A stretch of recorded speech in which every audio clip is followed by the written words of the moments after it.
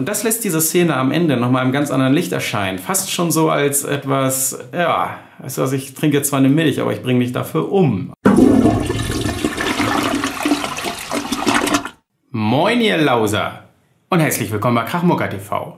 Ich bin Ernie und heute reden wir abschließend über das Thema Lords of Chaos, der Film.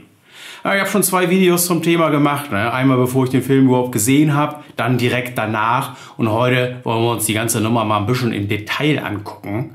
Und dafür habe ich hier ordentlich was vorbereitet. Ihr kennt so meine beliebte Phrase, dazu kommen wir später noch, weil gleich möchte ich noch was erzählen. Heute habe ich mir aber schön hier acht Seiten da ausgedruckt und das alles hier fertig gemacht. Äh, das gehen wir stringent durch. Ich hoffe, dass ich da jetzt nichts vergesse. Ich hoffe auch, dass das jetzt heute nicht zu abgelesen wirkt. War mir aber wichtig, dass ich jetzt keine Details und Facetten vergesse, die ich mir, nachdem ich den Film jetzt mittlerweile dreimal angeguckt habe, aufgeschrieben habe. Bevor es losgeht, ja Mensch, wir nähern uns in Riesenschritten dem Staffelfinale am 31. Juli.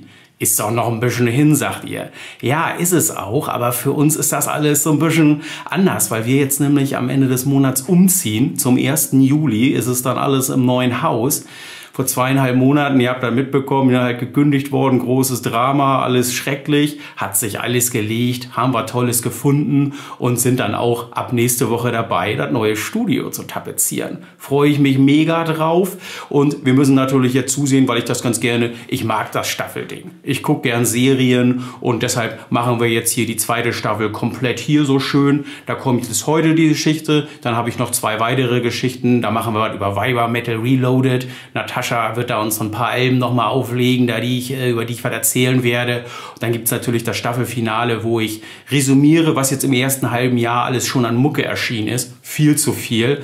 Ich sehe zu, die Dungeon Synth Geschichte noch fertig zu kriegen vor der Sommerpause. Und eine weitere Sache kommt dann auch noch. Aber heute geht es um Lords of Chaos. Und bevor ich loslege, möchte ich darauf hinweisen, dass ich nett zur Verfügung gestellt von Studio Hamburg äh, drei DVDs von Lords of Chaos bekommen habe, die ich am Ende der Show gerne verlosen möchte. Also bleibt dran, hört euch das alles an. Und wenn ich damit jetzt schon anfange, dann müssen wir natürlich überlegen, ich habe mir im Vorfeld Gedanken gemacht, wie erzähle ich denn das Ganze jetzt so? Ist das jetzt ein riesen Spoiler-Ding? Man sollte den Film möglichst vorher gesehen haben oder abschalten, wenn man ihn noch nicht gesehen hat. Und wisst ihr was? Da sage ich ganz einfach, die Story von diesem Film, die kennt jeder. Da kannst du nichts spoilern. Alles, was ich jetzt erzähle, so, das ist, das ist Allgemeinwissen. Wir wollen uns hier im Detail, und darum geht's, was erwartet euch jetzt hier, mit diesem Film mal auseinandersetzen. Ich habe mir hier einige Sachen aufgeschrieben. Ich habe mir Interviewauszüge ausgedruckt. Ich habe mir Kritiken, die ich ganz häufig von euch im Internet gelesen habe, aufgeschrieben. Äh, verschiedene Statements der verschiedenen Bands habe ich mit da drin. Filmfehler und so weiter. Was ich nicht machen werde, ist folgendes. Ich gehe jetzt nicht den Film Szene für Szene durch und sage so, das hat aber so nicht stattgefunden, das hier war auch alles so nicht richtig. Dafür ist es ein Spielfilm. Und der hat nun mal seine künstlerische Freiheit. Und, wie ich schon sagte, kommen wir gleich zu, das Thema künstlerische Freiheit, das werden wir natürlich auch uns mal ein bisschen genauer angucken. Eins der auffälligsten Dinge gleich am Anfang. Buchverfilmung heißt es immer. Ne? Wir haben hier Ah, ich den Kollegen hier, der hat übrigens noch gar keinen Namen, wisst ihr das? Äh, es geht ja im Grunde genommen immer einher die Buchverfilmung von Lords of Chaos, dem Buch, ne, von Michael Monihan und äh, Dietrich Söderlind. Und ja, da muss ich gleich schon mal sagen, so, ich habe mir den Tisch hier so vollgestellt. Ich stelle das, lege das jetzt erstmal nach hinten. Halte hier übrigens nochmal das gute Slam-Magazin in die Kamera. Die haben nämlich einfach nochmal ein kleines Special zum Thema Black Metal rausgehauen. Äh, schöne Sache, super Chefredakteur, kann man nur empfehlen. So, dann kann ich das jetzt nämlich auch einmal kurz hier weglegen. Genau. Es ist keine Buchverfilmung. Lords of Chaos das Buch und der Film haben den gleichen Titel, aber bei Metal 1 Info hat Jonas Ockerlund ein Interview gegeben. Und da habe ich hier einen Auszug mir rausgeholt und den möchte ich jetzt einfach mal vortragen, damit ihr wisst, was Sache ist. Lords of Chaos ist keine Buchverfilmung. Zitat Jonas Ockerlund. Ich hatte die Idee zur Verfilmung der Geschehnisse, Geschehnisse tatsächlich schon bevor das Buch erschienen ist. Ist klar. Im Grunde genommen wurden hier ja einfach nur Sachen aufgeschrieben, die Jahre vorher schon kursiert sind. Äh, wenn man viel Magazine gelesen hat, dann kann, kennt man den meisten, äh, kennt man die Grundgeschichte. Ähm, ich habe es damals 1998 zum ersten und einzigen Mal gelesen. Meine Recherchen für den Film gingen weit über das Buch hinaus. Wir haben viel recherchiert, indem wir alle Dokumentationen angeschaut, alle Bücher gelesen haben, die Polizeiberichte, die übrigens hier im Verlauf nochmal entscheidende Rolle spielen werden, studiert und Leute getroffen. Als wir das Drehbuch schrieben, gab es so viele Interpretationsmöglichkeiten. Das Buch Lords of Chaos war nur eine davon. Im Vorspann steht, dass der Film von dem Buch Lords of Chaos inspiriert ist. Der Grund, warum wir die Rechte, und das ist das Wichtige, die Rechte an Lords of Chaos gekauft haben, war aber vor allem die Namensrechte zu klären. Ich dachte immer, dass wir den Titel später zu etwas anderem ändern würden, sagt Jonas Ockerlund, äh, aber wir haben uns irgendwie in den Titel verliebt. Dann habe ich dieses Logo entworfen, äh, das, was ich wirklich mochte und bevor wir es wirklich merkten, war es genau der Titel, den wir wollten. Und natürlich, Lords of Chaos, wenn du diesen Titel hörst, dann verbindest du sofort die Geschehnisse, Geschehnisse in Norwegen Anfang der 90er damit. Kleiner Fun Fact am Rande, Lords of Chaos selber hat eigentlich gar nichts mit den Norwegern zu tun. Das ist nämlich einfach nur in Bezug auf eine Gruppe von amerikanischen Kriminellen hier in dem Buch äh, vorgekommen, die selber äh, in Norwegen ist dieses Lords of Chaos so als Begrifflichkeit hatte das überhaupt gar keinen Bezug. Das ist schon mal das Erste. Aber das ist halt so, äh, so ein klassisches Ding, so, ne? von dem, was man mit Lords of Chaos in Verbindung bringt.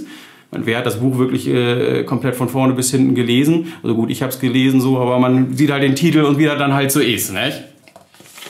Und äh, damit können wir dann jetzt auch einsteigen. Eine Frage, die ich gestellt bekommen habe, und das ist der nächste Punkt, Until the Light Takes Us oder Lords of Chaos. Diese Frage stellt sich gar nicht. Denn Lords of Chaos ist ein Spielfilm und Until the Light Takes Us ist eine Dokumentation.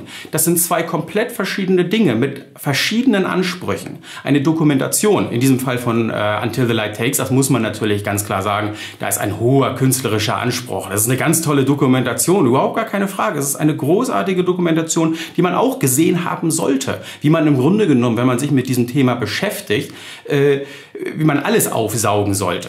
Bis hin zu den vielleicht auch etwas furchtbaren Weiß-Geschichten. Also hier der äh, Film Lords of Chaos ist ja auch von Weiß, äh, großes Raunen durchs äh, Kino. Da kam sich ein Kinosaal, als das Weiß-Logo da aufblinkte. Und gerade die deutschen Sachen sind ein bisschen merkwürdig und das muss man immer ein bisschen Vorsicht genießen. Ihr kennt ja die Doku mit Gal, wo das arme Filmteam ihm da hinterher rennt durch den Eis und Schnee, keinen Plan hat von dem, wovon er redet und so. Aber Lass uns hier beim Thema bleiben. Ähm, Lots of Chaos ist ein Biopic. Das ist ein Begriff, den hörst du in letzter Zeit ständig. Ne? Also diese Coming of Age Thriller, würde ich sagen. Bisschen Horrorelemente mit dabei.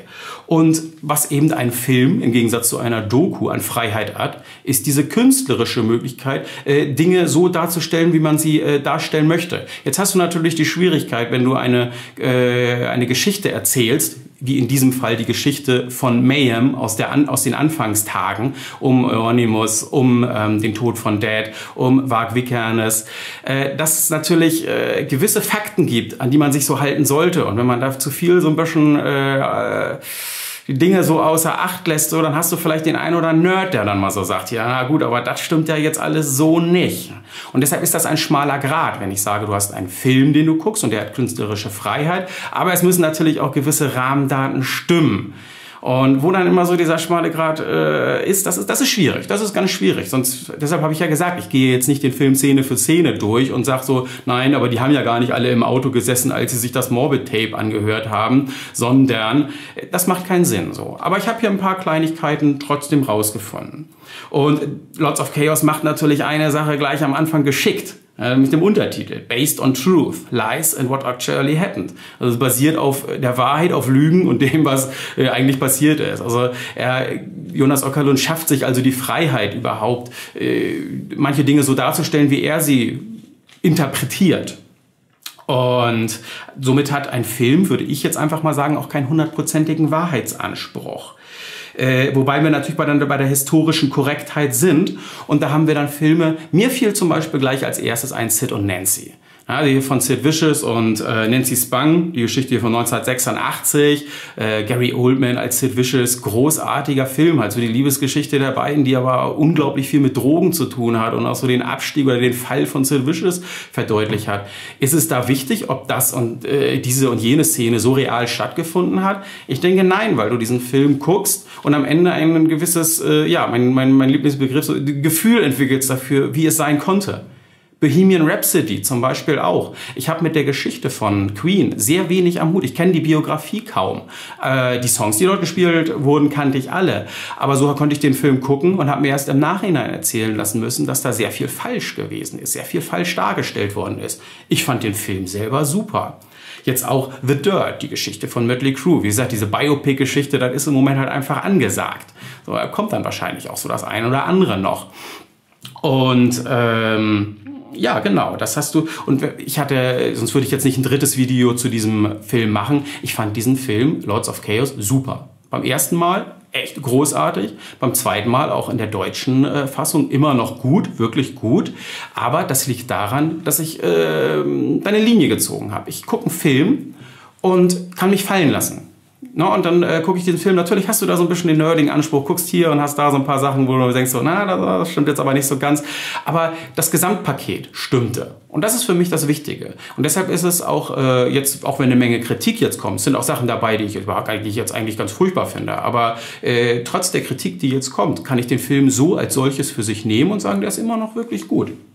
Und was dieser Film, das habe ich aber auch schon erzählt, äh, sehr, sehr schön macht, ist das Darstellen von diesen ikonischen Bildern, die man alle kennt. Ob sie da nun, ich glaube, Bushaltestelle hier vor der, äh, vor der Wand da mit dem Mayhem-Logo äh, sitzen. Diese ganzen Bilder, die nachgestellt werden, die, wo entweder direkt sogar Fotos im Film gemacht werden oder äh, wo man diese Szenen so sieht. Auch äh, Wagwig Kern ist nachher, wo er da interviewt wird und sich da vor seine Wand stellen soll, da mit diesem komischen Messer, äh, Schlag, Schlagring-Ding und so weiter.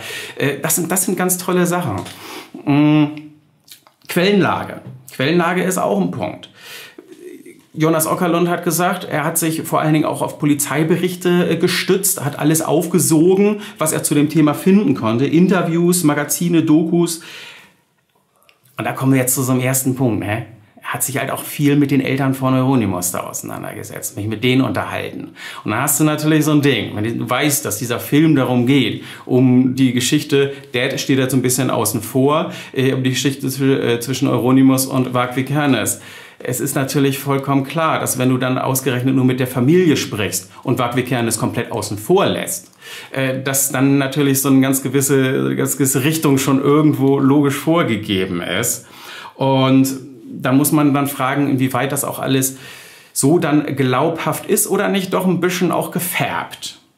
Und Probleme sind bei der ganzen Sache, das darf man natürlich auch nicht außer Acht lassen, dass du mit Black Metal ein Genre hast, was im Gegensatz, ja, da kannst du auch Death Metal, Thrash Metal und die ganzen anderen nehmen, äh, tunlichst versucht natürlich zu vermeiden, die Wahrheit hinter der Maske zu zeigen. Deshalb, also sie, nicht deshalb tragen sie Corpse Paint, sie tragen Corpse Paint, um etwas Bestimmtes auszudrücken. Aber das Individuum dahinter spielt gar keine so große Rolle. Diese Anonymisierung natürlich auch durch die, durch die, ähm, äh, Pseudonyme, die sie sich geben. Und dann muss man natürlich immer mal überlegen, was kann man denn auch aus Interviews rausziehen? Was ist glaubhaft und was ist nicht irgendwo auch ein bisschen überlagert? So die verqueren Ansichten der Protagonisten aus der damaligen Zeit. Ich meine, das waren alles Teenager. So, also, wenn du guckst, Euronymous 68 geboren, der ist mit 93 mit 25 umgebracht worden. Warwick Kern ist 73 geboren, ist heute 46. Zum Tod von Euronymous war er 20. Und Dad war 22, als er tot war. Denk mal selber drüber nach, also wie man zu der Zeit halt auch drauf war. Äh, und ähm, ich denke auch vieles aus der Zeit, wenn ich da auch an gewisse Aussagen von Hellhammer denke, äh, zum Tod von ähm, Dad und verschiedenen anderen Geschichten. Ich glaube, da sagst du auch in Interviews andere Sachen als das, was du wirklich meinst, weil du willst ja jetzt auch nicht als Waschlappen rüberkommen, wenn die ganzen Sachen danach herausgekommen sind. Ne? Da erzählst du ja nicht, dass uns das getroffen hat. Das war Necro Butcher, der relativ klar gesagt hatte, wie das denn ist hier mit Dad aufs Cover draufhauen und so, wie das geplant gewesen ist. Und ähm, ja, natürlich, weiter bei der Quellenlage. Dad ist tot, Euronymous ist tot. Wag als Quelle ist nun mal einfach schwierig. Ich möchte jetzt hier nicht, ich möchte, möchte es wirklich versuchen, die ganze Sache neutral zu beachten, weil äh, jetzt irgendein so Bashing rauszuholen, äh, das wird jetzt auch so meinem Anspruch nicht gerecht. Okerlund sagt zu der Sache, Wag hat diese Geschichte öfter erzählt als jeder andere, dadurch, dass er dann irgendwann ins YouTube-Geschäft natürlich eingestiegen ist. Aber jedes Mal klingt sie halt anders. Und wenn man dann auch weiß, dass äh, Mark Wickernes so nach dem Film oder äh, als er dann erschien, sieben Videos dazu gemacht hat, die alle irgendwie äh, den Unterton haben sollen, dass ihn das ja eigentlich gar nicht interessiert, ist so eine Sache.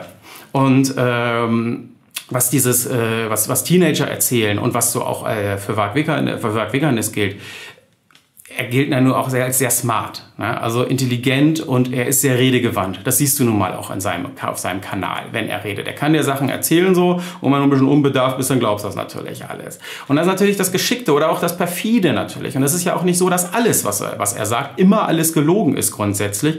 Es sind aber wahrscheinlich immer mal so gewisse Elemente und auch so, wie er über Euronymous auch heute noch redet. Gut, ähm, ob dann die Wut immer noch so groß ist oder wie auch immer, ne? oder das Darstellerische, da will ich mich jetzt auch nicht festbeißen. So, dann haben wir das. Ne? Also die Quellenlage. Das, äh, wo, wo holt man sich die Information raus, um einen Film zu drehen? Und dann hast du diese ganzen Quellen und diese ganzen Geschichten und dann hast du diesen Eindruck erweckt, du würdest Lords of Chaos verfilmen, was du überhaupt nicht tust. Und dann ist so eine erste Kritik, die erstmal natürlich verständlich ist, wenn du davon ausgehst, die Verfilmung ist doch vollkommen unvollständig. Wo sind Emperor? Wo sind Dark Throne? Du hörst kaum Musik in diesem Film. Es ist halt kein Musikfilm und es ist auch kein, ähm, keine Historie des Black Metals. Es ist wirklich die Geschichte von Mayhem mit dem Zentrum, Wag, Dead, wie gesagt, äh, äh, Euronymous und gut, Faust wird dort auch noch thematisiert, weil es eigentlich immer in einem Atemzug genannt wird. Neben den Kirchenverbrennungen und dem Mord und dem Selbstmord ist natürlich auch der Mord von Faust immer ein prägnantes Thema. So kann ich mir schon vorstellen. Ich denke, man hätte es aussparen können. Ich sehe keinen Grund dafür, aber auch irgendwie nicht so richtig dagegen. Da bin ich so ein bisschen, die Sequenz ist in Ordnung aber äh, sie ist jetzt nicht unbedingt sachdienlich für den Film. Es ist halt wirklich so dieses Coming of Age. Aber dann nehme ich dann jetzt einfach mal so einen Film wie Metalhead, der isländische. Der hat den Vorteil, dass das natürlich keine wahre Geschichte gewesen ist, die erzählt worden ist. Es ist auch ein Coming of Age von dem Mädel, das sehr früh ihren Bruder verloren hat, die dann versucht über Musik Black Metal versucht klarzukommen mit der ganzen Geschichte. Dadurch, dass das aber keinen realen Hintergrund hat, hat man da sehr viele Freiheiten und du hast einen sehr ja, ähm, atmosphärischen Film. In diesem Fall hast du natürlich immer so die Geschichte, dass irgendwo äh, das Ganze ja doch ein, na, für viele Zuschauer auch einen dokumentatorischen Anspruch haben soll. Ne? Aber es ist, wie gesagt, kein Musikfilm. Und zweite Kritik, ich habe mir hier fünf aufgeschrieben, ist natürlich, ja, es ist immer der Klassiker. So, er macht halt jetzt alles wegen der Kohle und das Thema auszuschlachten. Aber mal ganz ehrlich, Jonas Okerlund, der hat Videos für Madonna gemacht, der hat Videos für Rammstein gemacht, der hat an dieser Verfilmung Jahre, ich glaube irgendwie zwölf Jahre gesessen.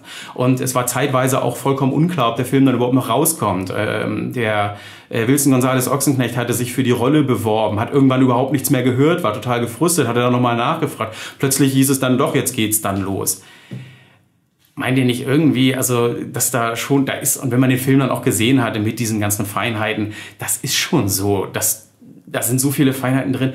Wenn der wirklich, wenn der wegen der Kohle gemacht hätte, weißt du, dann hätte er ein neues Rammstein-Video gemacht, dann hätte er ein Madonna-Video gemacht oder irgendwas anderes oder hätte irgendein Mainstream-Thema verfilmt.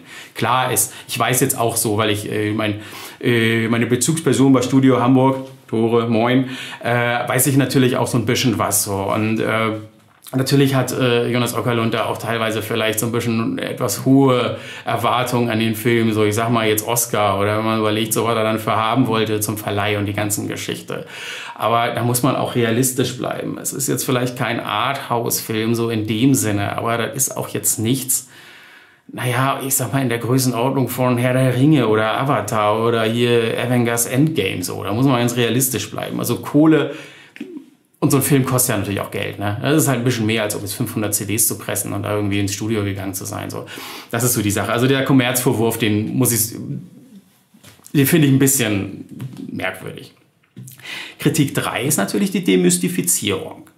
Und die findet statt, ganz klar. Wenn du diesen Film guckst, hast du einen Film, der nicht auf eine Black Metal Optik setzt, der diesen, diese Mystik, diesen Kult unterstreichen möchte, sondern er versucht, die Menschen hinter der Musik zu beschreiben und das teilweise einfach sehr arg geradeaus. Der macht sie nackig. Und da sind dann halt auch einfach Sachen bei. Das hat man, das weiß man irgendwo unterbewusst. Aber wenn man Demistristum Satanas hört, irgendwie das Album oder Dark Thrones Panzerfaust oder so weiter, dann möchte man nicht wissen, dass äh, Fenris eigentlich ein lustiger Geselle ist, der einfach in der Kneipe auch gerne mit seinen Freunden feiert. Und dann möchte man auch nicht irgendwie äh, die Partys äh, von, von Mayhem dann irgendwie im Hinterkopf haben. Wisst ihr, wie ich meine? Also habe ich auch schon von Leuten gehört, die gesagt haben, die gucken sich den Film nicht an, weil sie es nicht zerstört haben wollen. Ich denke nicht, dass dieser Film was zerstört, wenn man jetzt nicht vollkommen naiv ist, weil man es ja irgendwie sowieso weiß. Aber man muss sich auch ganz darüber, man muss sich im Klaren darüber sein, dass der Film halt ganz andere Ansprüche hat, als einen Kult zu untermauern. Und äh, der vierte Punkt, also ist auch wieder so ein klassisches äh, Black Metal äh, Kritik-Klischee-Thema. Das war doch keine Gruppe, Gruppe von Party- und Saufmettlern, wie es im Film dargestellt wird. Und ich habe den Film wirklich jetzt mittlerweile dreimal geguckt. Und vom ersten zum zweiten und vom zweiten zum dritten Mal, da fallen einem dann auch einfach Details ein. Und bei diesen ganzen Vorwürfen, die man dem Film gegenüber hat, und da kommen wir nachher zu einer ganz prägnanten Sache, nämlich äh, die Darstellung von Euronymous und von Wag, sollte man sich vielleicht auch mal bei diesem Film ganz genau die Sache angucken und überlegen, wer macht denn da eigentlich die Party in den Film? Dad und äh, Euronymous sitzen und schminken sich und kommen danach heraus. Die machen keine Party. Das sind so die Leute um Fenris, das sind Metallion und so weiter, die einfach Metal hören, so wie wir das alle gemacht haben oder auch immer noch machen, ähm, ums Feuer rum äh, Headbang und Spaß haben und saufen und so weiter. Das ist ja jetzt, also gut, das ist dann, gibt dann, will jetzt nicht irgendwie zu aufbrausen werden, da gibt ja Leute, die dann grundsätzlich irgendwie was gegen Party haben und der Meinung sind, das passt ja alles nicht zusammen. Aber äh, Wagner Kernes zum Beispiel, der macht ja auch keine Party. Der taucht da in der ersten äh, Szene da äh, auf, äh, als sie dort, äh, ich glaube, vor dem Proberaum äh, sitzen und äh, Mucke hören. Angeblich haben die sich nach dem Morbid Angel kennengelernt oder so, das weiß ich jetzt nicht ganz genau. Aber der ist halt auch eher ernster. Ja, ihr sagt nur eine Phrase, da kommen wir noch zu, aber da kommen wir noch zu. Also das mit der, auch mit den, also Party, es ist kein Partyfilm. Definitiv nicht. Und natürlich, und das ist ein schöner Übergang zur Kritik 5, der Humor. Ja, das mag manchmal unpassend sein. Ich bin da auch immer so eine, ich mag gern Komödien, ich lache mich gern kaputt, ich bin auch ein lustiger Typ wahrscheinlich, aber es gibt halt Filme, da mag ich keinen Humor. Ich sag mal so, bei der Schweigender Lämmer möchtest du ja auch nicht kaputt lachen. Es sei denn, du hast ein bisschen einen an der Murmel, dann lachst du dich da wahrscheinlich kaputt. Aber äh, ja, wie ist es denn eigentlich? Also bei Lots of Chaos, jetzt beim dritten Mal gucken, habe ich noch mal ein bisschen drauf geachtet. Das ist am Anfang May, äh, Mannheim, als er äh, die Band verlässt und ähm, Hellhammer eintritt, schmeißt halt seine Sticks hoch oder äh, hält sie hoch und die, die bleiben dann in der Wand stecken da und äh, sowas. Und manchmal wird irgendwie ein komischer Spruch gebracht. Vielleicht soll es auflockernd sein, um andere Szenen drastischer. Man hätte es weglassen können. Das ist aber meine, äh, so mein Geschmack an Film. Ich mag zum Beispiel so am skandinavischen Film sehr gerne, dass der eine sehr, äh, sehr prägnante Ruhe ausstrahlt und wo viele Sachen dann auch so nicht vorkommen. Ja? Und so dieses, äh, diese Bildästhetik, Hollywood-Style, es wird ja dann immer gleich mit Hollywood abgetan. Es ist einfach kein Hollywood-Film. Jonas Ockerlund hat äh, sein ganzes Leben lang äh, Musikvideos gedreht. Es ist vollkommen klar, dass das Bild entsprechend sein wird, also eine gewisse Ästhetik haben wird. Für mich ist es auch ein bisschen zu glatt. Ich mag das so ein bisschen, ich weiß, jetzt kommt ja alle auf die Gefängnisszene, crispy, ne, so, also ich mag das Bild auch so ein bisschen, so ein bisschen rauer, so und vielleicht nicht ganz so von den Farben so intensiv, also gut, ich bin da ein Freund von VHS-Ästhetik äh, und gucken mir lieber nochmal so einen Film auf VHS als jetzt da dick in Blu-ray an. Ist eine Sache, kann man drüber streiten. Ja, und dann kommen wir doch mal ein bisschen zu den Aussagen. Irgendwann, das war so, ich weiß nicht, ich habe, was wann sind die die Ältesten? Ja, 2011 und so weiter, habe ich hier äh, so ein Statement von Satyricon, als es so hieß, so, der Film kommt ja oder er wird gedreht oder es ist geplant, ihn zu drehen. Und dann haben sich natürlich alle aus der Black Metal-Szene echauffiert. Beziehungsweise wird es ja bis heute gesagt, so, ja, alle, die in diesem Film vorkommen, boykottieren den Film, die wollen alle damit überhaupt nichts zu tun haben und eigentlich finden die das alle scheiße. Alle, natürlich ist es immer nur 100 Prozent, das geht nicht irgendwie so ein Mittelweg. Und da haben wir ein paar Sachen rausgesucht. Ich fange mal mit Dark Throne an, das ist immer so der amüsante Teil. Fenris ist einfach, der ist auf dem Boden geblieben und der sieht die Sachen logger. Der hatte auf Facebook hier 2016 gepostet, About this movie concerning our black metal situation in the late 80s and early 90s. It's the worst idea since äh, unsliced bread. Es ist die schlechteste Idee seit ungeschnittenem Brot. Ihr wisst, wenn ihr gelegentlich mal was von ihm liest, er hat's mit geschnittenem Brot und äh, auf Twitter hat er dann nochmal rausgehauen, They asked us and we denied any use of any of our merchandise, Logo und so weiter. Also Dark Throne sind da auch raus, kommt aber im Film Fenris auch nur wirklich am Rande vor. Äh, Sprechrolle hat er gar nicht. Satyricon mussten natürlich auch was dazu sagen. Lords of Chaos, ein unglaublich schlechtes Buch. Nehme ich an, dass auch der Film schlecht sein wird. Für Frost sei die Verfilmung des Buches gar ein parasitäres Phänomen. Lasst mich dazu meinen lästerlichen Kommentar ablassen. Wenn Satyricon es für nötig halten, als Black Metal Band äh, auch dann so über die Geschichte zu urteilen, frage ich mich, wie sie es dann sehen, auf Skiveranstaltungen in Norwegen aufzutreten und zwischen irgendwelchen komischen Tänzern und auf Major-Label zu veröffentlichen. Aber das geht jetzt, da, da komme ich jetzt selber, da gehe ich jetzt, wisst ihr, da, da werde ich dann selber so äh, und äh, gehe in diese Richtung von Black Metalern, die ich, über die ich dann immer kritisch etwas äh, rede, wenn ich äh, über Kommerzvorwürfe und hier diese Party- und Saufmentalität spreche. Ne? Also so dieses Engstirnige und so weiter. Was Mark Wiggernis erzählt hat, das habt ihr alle irgendwann mitgekriegt. Ich meine, das Video hier findet auf YouTube statt. Mark Wiggernis fand nur noch auf YouTube statt, bis sie ihm seinen Kanal gelöscht haben. Uh, Lords of Chaos, a film, a film about idiots, according to the director. I think he used the wrong preposition. It's a film by idiots, isn't it? Ja, und, und davon ganz viel. Interessant wird es jetzt bei Mayhem, weil die waren ursprünglich auch komplett dagegen. Ich denke auch, dass sowieso von vielen Black Metalern erwartet worden ist, also Bands, dass sie sich negativ äußern. Und Nico Butcher hatte eben im Slug Magazin 2017 noch gesagt, It pissed me off that people make movies about our life and don't even bother to consult or contact you. I told them I had to read the script before guaranteeing any use of the music for the film, and after reading through his uh, absolute bollocks and uh, far from fact and reality script, I said no to any collaboration. Also Necro Butcher komplett dagegen, keine äh, Zusammenarbeit und nix. Und angeblich haben ja auch alle Bands äh, gesagt, sie möchten nicht, dass Musik verwendet werden. Das war auch so das Erste, was ich damals, als ich das erste Mal von der Verfilmung gehört habe, gehört habe, dass eben keine Musikerlaubnis gegeben worden ist. Mittlerweile, und da ist Mayhem eben die Band, äh, da hatte sich äh, das alles ein bisschen geändert. Ähm, die haben ihren Frieden damit gemacht. Sie haben natürlich zugestimmt, dass Musik verwendet werden darf. Über die einzelne Musik, die im Film vorkommt, habe ich hier auch was vorbereitet. Und Jonas Ockerlund sagte auch, und das muss dann auch schon lange vorher stattgefunden haben, wäre nicht die Freigabe der Musik von Mayhem da gewesen, hätte er diesen Film nie gedreht was dann auch irgendwie überhaupt gar keinen Sinn macht. Alles andere konnten sie irgendwie so ein bisschen umgehen. Bei Mayhem musste einfach ein gewisser Klassiker drin haben. Also ohne Freezing Moon oder äh, Funeral Fog ist halt ein bisschen schwierig dann. Ne?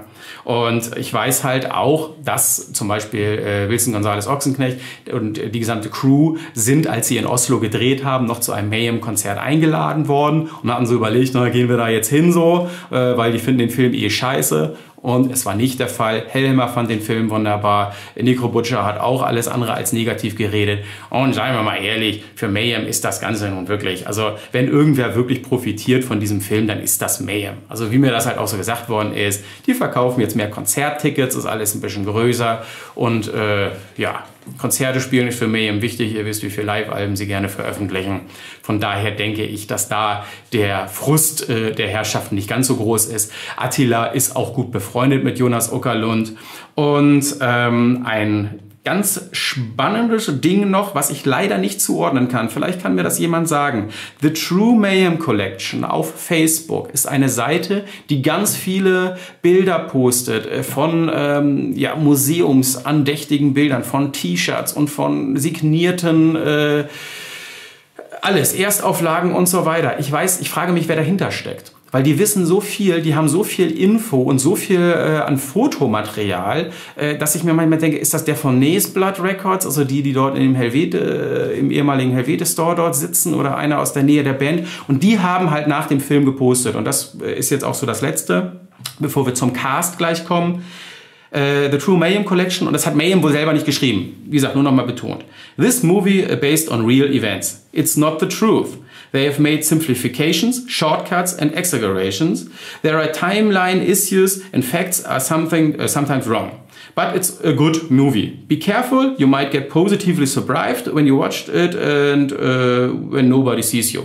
Blöderweise, ja gut, wie gesagt, ihr wisst, mein Englisch ist nicht so doll, ich übersetze mal kurz.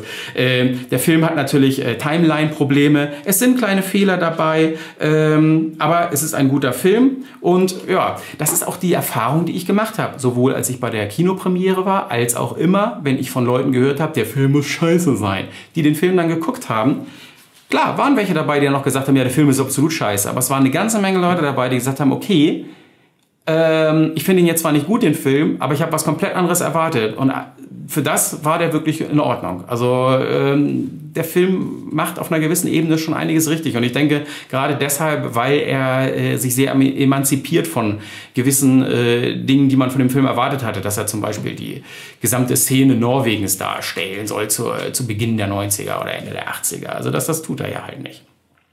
Jetzt wird der Cast. Jetzt machen wir langsam kommen wir ein bisschen ins Thema rein hier. Wo sind wir schon? Ach ja, doch, haben ordentlich wieder was.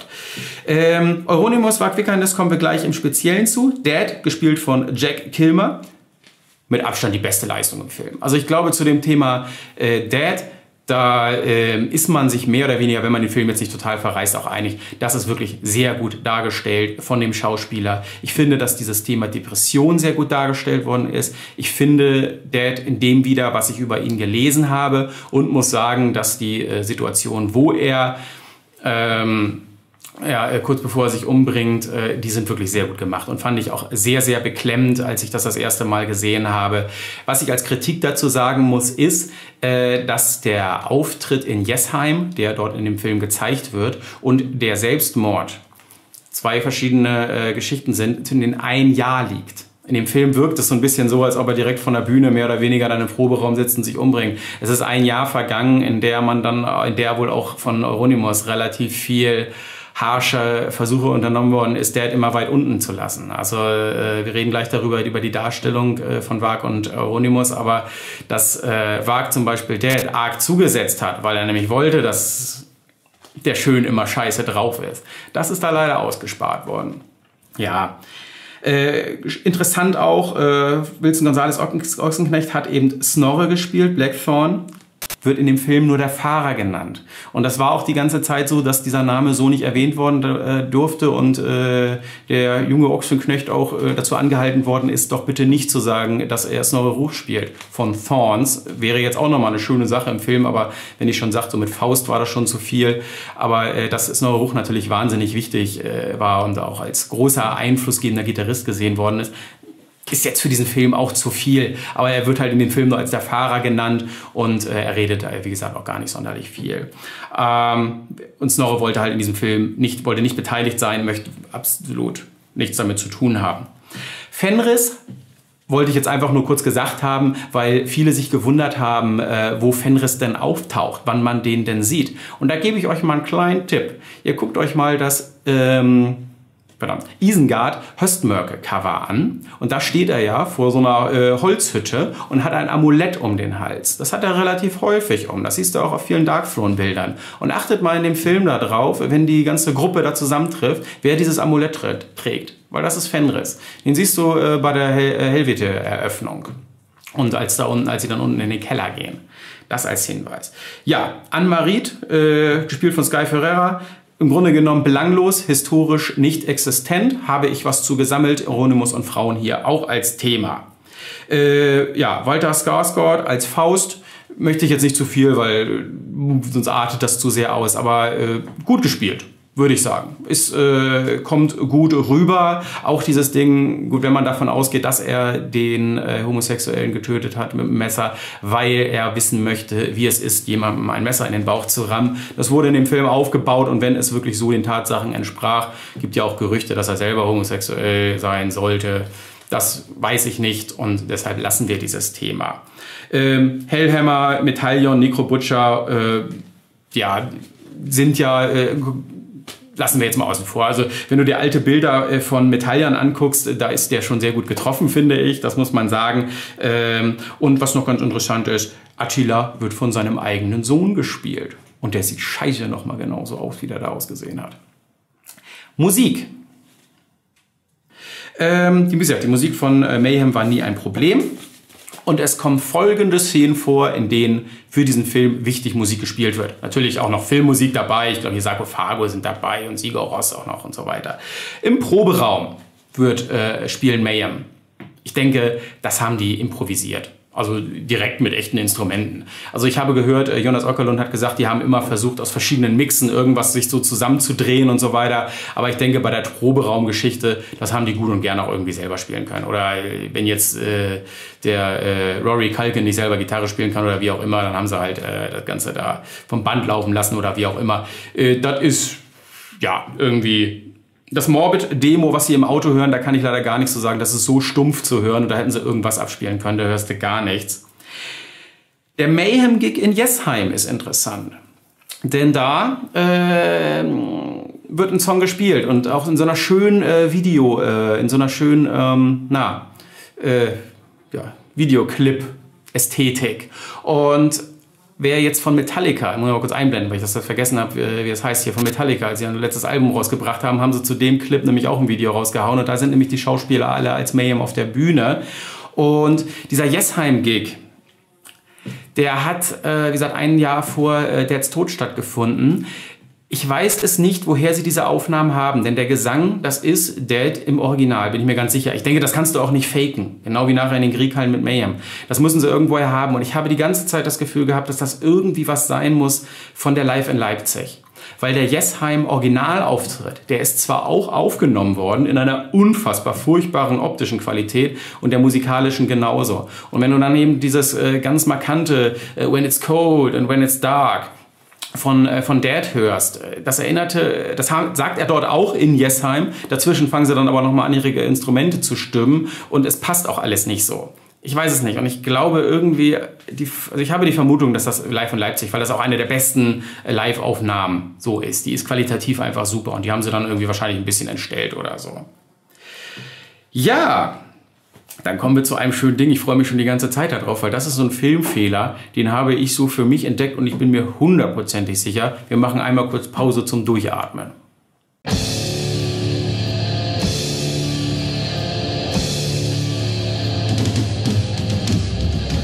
Es kommt die Szene im Film, wo Varg Vikernes Euronymous ein Tape in die Hand drückt. Er packt das vorher ein und es ist ganz offensichtlich, es ist das zweite Demo. Ja, und das hört sich Euronymous an. Und ihr könnt mir sagen, was ihr wollt. Das ist echt ein Fehler, den man sich hätte sparen können, denn man hört Gesang. Ohne Scheiß, ich habe mir das jetzt dreimal angehört. Der setzt die Kopfhörer auf. Man kann dann sagen, das ist ganz einfach. Weißt du was, der setzt einfach Kopfhörer an. Ähm, Burzum wollte nicht, äh, Veganis wollte nicht, dass seine Musik verwendet wird. Machen sie irgendwas, ein bisschen Rauschen und so weiter, klappt schon. Und dann hörst du da ein Schreien. Jetzt fragt ihr, warum redet er denn so viel darum? Ja, weil das zweite zum Demo, das ist ein Instrumental. Und das hat einen wahnsinnig dummen, dumpfen Sound auch noch. Es ist nicht das, das ist so eine Sache, da frage ich mich, du hast da so eine äh, Spitzfindigkeit, so viele, so viel Detailgetreue versuchst du dort. Und du hast so lange Recherche und dann macht er sowas. Das hätte nicht sein gemusst. Was wirklich gut gemacht worden ist, das ist dann, als äh, Wagwickernes in die Krieghallen-Studios äh, gegangen ist, um ähm, aufzunehmen. Da haben sie irgendwie was genommen, was hier von der Burzum Aske, äh, die, die, die Burzum, die ja die erste Geschichte von ihm gewesen sein, wahrscheinlich auch so der erste Song, hatte so ein bisschen inspiriert danach. Es ist nicht der Song, aber die haben irgendwas so gespielt, was relativ monoton war und irgendwie dem so entsprach und einfach nach Burzum klang, ohne Burzum zu sein. Diese Szene, wo er das aufnimmt und natürlich Euronymous vollkommen gefrustet ist, weil er sieht, dass Wagwigan das alles total gut äh, drauf hat und da einfach echt was abreißt, das ist schon köstlich. Also das ist wirklich gut gemacht. Naja, und dann hast du den Mayhem, äh, die Mayhem-Aufnahmen zu Demistristum Satanas zusammen mit Attila. Ähm, Tja, äh, Necro Butcher hatte die Band ja verlassen, weil äh, Euronymous fester Meinung war, dass er den ähm, Kopf von ähm, den abgescheuert, den ja, äh, den äh, das Foto von Dad nach seinem Selbstmord unbedingt verwenden wollte. Das war für ihn nämlich absolut nicht okay. Und äh, dann wurde dort überlegt, dass man äh, eine andere Kirche in die Luft jagen sollte und die dann aufs Cover. Bla bla bla, lange Rede. Ich denke, dass sie dort entweder haben sie rohe Aufnahmen genommen von Mayhem oder es ist sogar wirklich von der Demistris um Satanas, die sie nur ein bisschen, vielleicht ein bisschen schlechter gemacht haben, wenn überhaupt. Aber natürlich, du kannst auch den Attila-Gesang nicht faken. Und äh, von daher muss das irgendwas Originales gewesen sein. Und ich kann mir gut vorstellen, dass das, äh, ich habe es jetzt nicht, also das, die, die, die richtig finsteren Nerds, die hätten sich das jetzt noch aufgenommen und die hätten so die Wave-Dateien wahrscheinlich noch verglichen und geguckt. Aber das, den, die Mühe habe ich mir jetzt nicht gemacht, es tut mir leid. Ich gehe aber schwer davon aus. Und da wir wissen, dass Mayhem-Musik verwendet werden durfte, fasse ich hiermit zusammen. Burzum sehr gut gelöst und äh, mit Mayhem hatten sie ja nicht so die großartigen Probleme.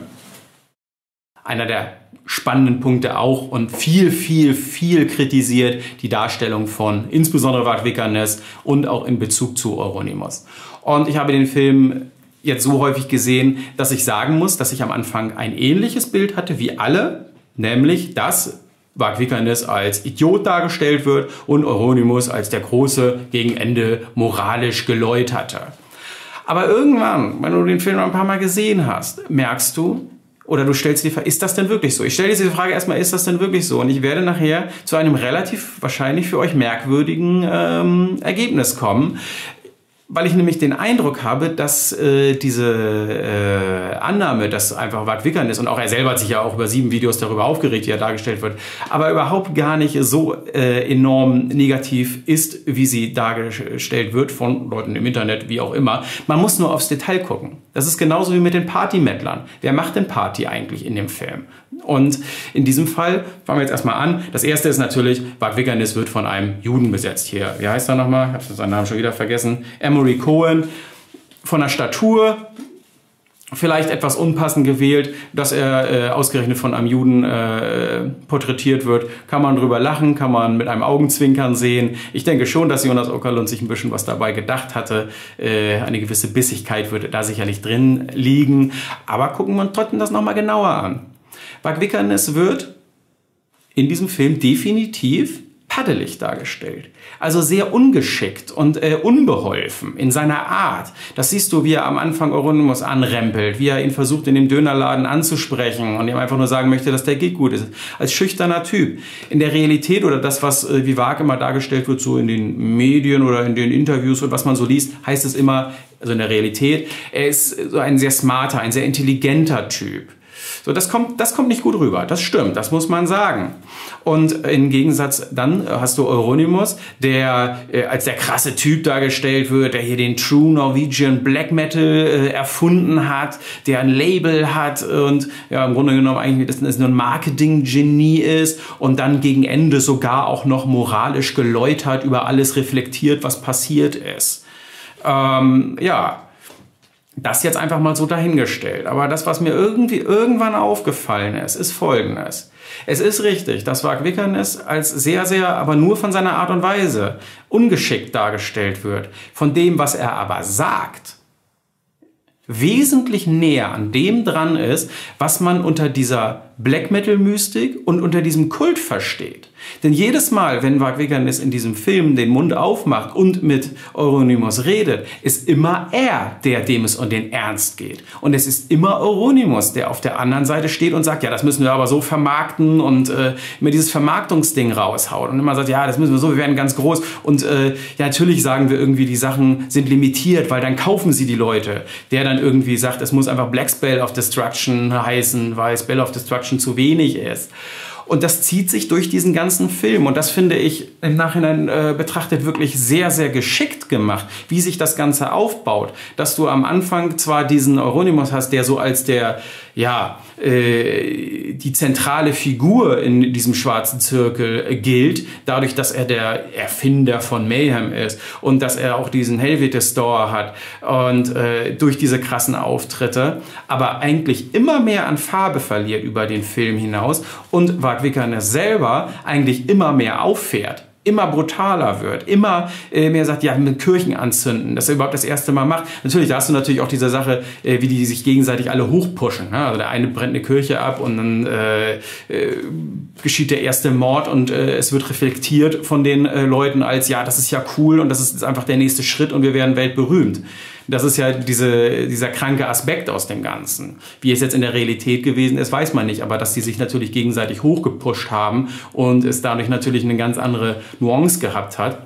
Ich wurde zu dem Thema mal gefragt, so was denn eigentlich diese sogenannte zweite äh, Welle Black Metal, also diesen norwegischen Black Metal ausmacht. Das ist natürlich diese krasse Geschichte, die es hat wäre aber so niemals so intensiv, wenn die Musiker da hinten nicht so genial gewesen wären, also geniale Musiker gewesen wären, die so großartige Alben aufgenommen haben, die ja wirklich zum damaligen Zeitpunkt was sehr Innovatives gewesen sind und wie Jonas Okerlund auch richtig feststellt, sehr gute Fotografen gewesen sind. Also die ganzen Bilder, die man aus der damaligen Zeit kennt, diese ganzen ikonischen Bilder, das sind super ausdrucks, ausdrucksstarke Bilder. Vergleicht das einfach mal mit, na gut, der vergleicht das einfach mal mit äh, versuchten Black Metal Fotografien aus der heutigen Zeit. Gut, heutzutage hast du halt äh, äh, ganz andere Möglichkeiten und mit viel mit Photoshop und so weiter früher, aber das war ja, das war ja ganz anders so, ne?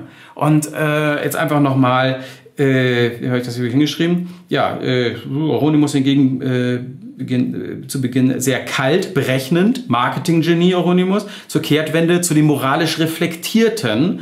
Und jetzt überlegen wir uns doch mal, was macht denn Black Metal aus? Black Metal ist doch nicht irgendwie plötzlich festzustellen, dass das alles gar nicht so gut war, dass das alles viel zu krass ist und Haare abschneiden und äh, eine Platte auflegen und sich entschuldigen und die Rechte übertragen. Im Endeffekt ist Wag Wickernes in diesem Film der, der am Ende am nächsten das repräsentiert, was Black Metal eigentlich ist. Ist eine gewagte Aussage, ist eine sehr gewagte Aussage so, aber ich finde, dass das so sehr rüberkommt. Wenn natürlich auch an allen Ecken und Kanten versucht wird, Wag Wickernes als Idioten darzustellen. Ja, also gerade so die Interviewszene mit der äh, norwegischen, mit dem, mit dem, norwegischen Tages- oder Wochenblatt, was es gewesen ist, äh, ganz klar, solche Sachen. Ja? Aber das äh, wollte ich nochmal so gesagt haben. Und da finde ich übrigens eine Sache, die ist mir auch noch aufgefallen. Ähm, es wird immer so viel darüber gelacht, als er Euronymous am Schluss umgebracht hat und er sich dann noch in aller Seelenruhe einen Kakao macht.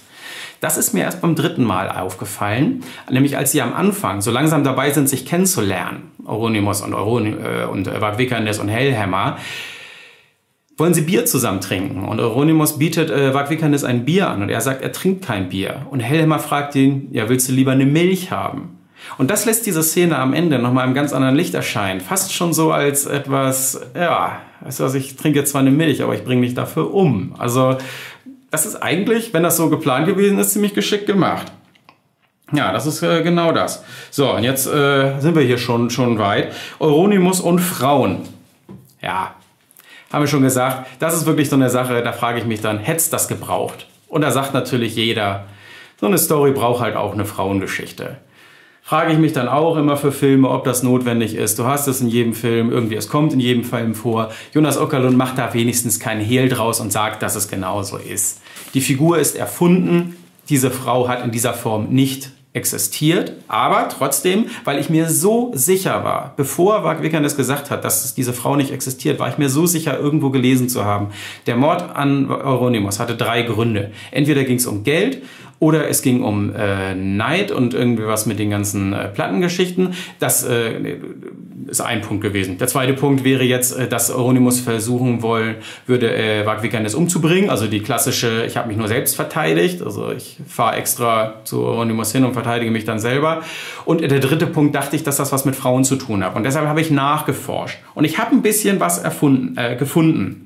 Jonas Okerlund selber hatte gesagt, dass er auch sich ein bisschen Bilder aus der Zeit angeguckt hat. Ich lasse hier mal ein bisschen was einblenden. Dafür habe ich auch einen schönen Blog gefunden. Ihr werdet sowieso in der Beschreibung diesmal eine ordentliche Quellenliste finden.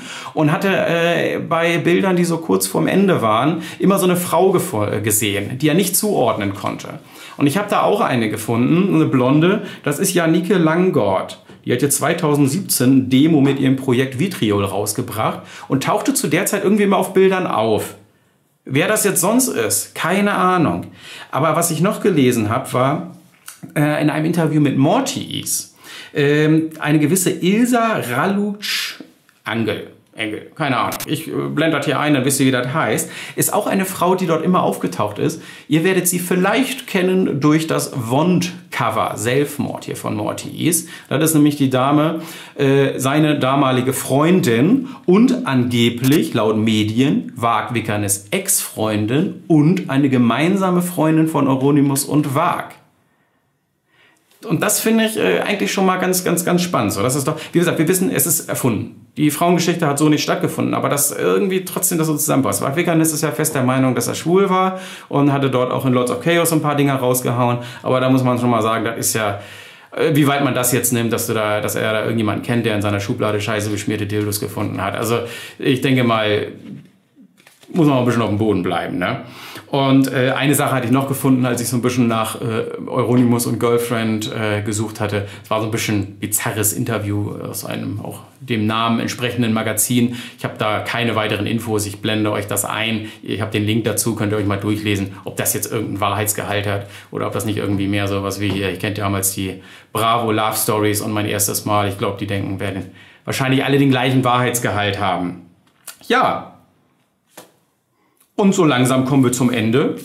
Ich hoffe, ihr mögt so ein paar Snacker-Stories. Ich weiß jetzt gar nicht, ob das jetzt spannender ist, wenn man den Film gesehen hat und das Ganze nochmal Revue passieren lässt oder man ihn dann nicht kennt. Aber äh, ich möchte noch einmal jetzt, äh, wo wir zum Ende kommen, auf dieses Hollywood-Kino, auf Party-Kids, alles falsch, Party versus Kult. Der, Gefilm, der Film gebiert eine Masse an neuen Kids, die Black, Black Metal plötzlich cool finden.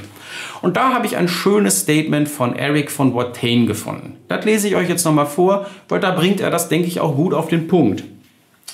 Äh, Im Metal Hammer hat er das äh, Januar 2019 äh, gesagt, äh, auf metalhammer.de. Ich habe den Film gesehen und er ist überhaupt kein Tor zum Black Metal Wissen.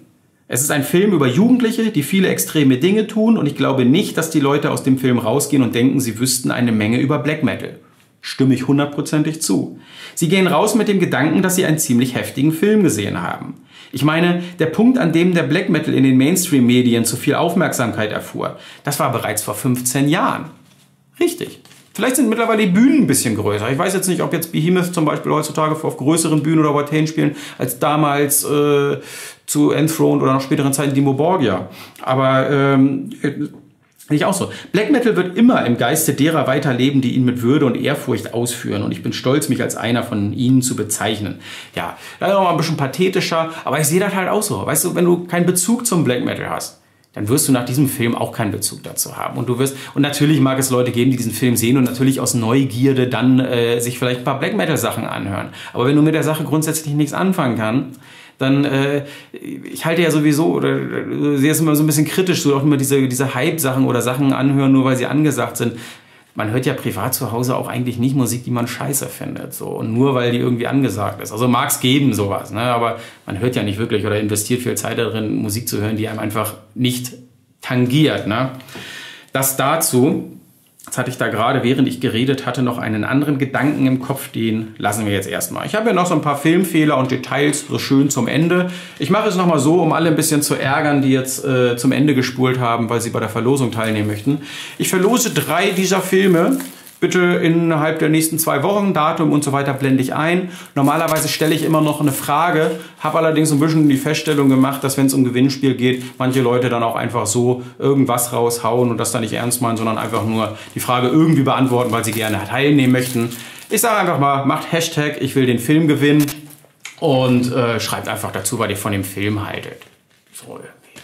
Oder schreibt irgendwas Nettes. So, nee, so machen wir das. Das ist doch gut. Ja, was habe ich denn hier noch? Doch, zwei, drei noch nette ganz Sachen habe ich hier. Euronymous hat sich am Schluss die Haare abgeschnitten. Fand ich merkwürdig, habe ich so nicht gehört. Habe ich zwei Sachen zu gelesen im Kirang Magazin kann man von halten, was man will. Die haben noch so ein paar Filmfehler rausgearbeitet, die schrieben, dass das so nicht stimmte, weil ähm, das erst irgendwie bei der Obduktion stattgefunden hat, das Haare abschneiden. Jonas Ockerlund wiederum hat gesagt, wir kommen gleich nochmal zu einem weiteren Polizeibericht, äh, aber der sagte, im Polizeibericht steht, dass er die Haare sich vorher abgeschnitten hat.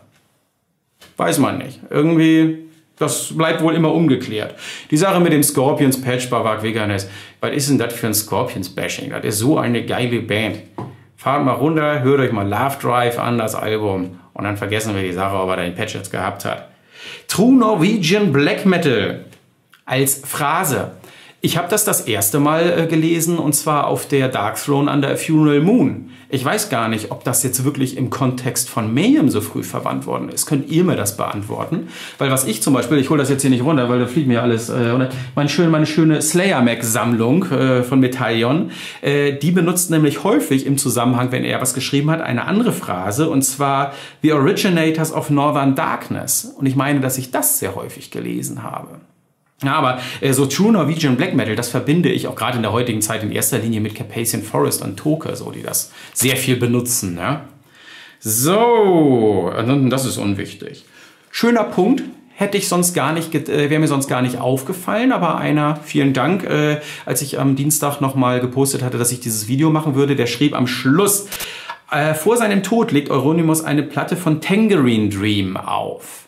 So, äh, macht Sinn erstmal, weil Tangerine Dream äh, hat einen Bezug zu Mayhem insofern. Könnt ihr mal gucken, wer Silvester Anfang geschrieben hat. Und die waren wohl auch irgendwie befreundet, hatten Kontakt gehabt. Und dieses Silvester Anfang ist eben, also das Schlagzeug, ne? Äh, das ist von Tangerine Dream. Jetzt ist es aber so, also jetzt klingt das natürlich logisch, dass er die Platte auflegt und es ist dramaturgisch natürlich doch nochmal eine schöne Sache, wenn man Hintergrundwissen hat. Aber laut äh, dem äh, Mayhem, äh, der Mayhem-Kollektion war die letzte Platte, die er gehört hat, Cyborg von Klaus Schulze.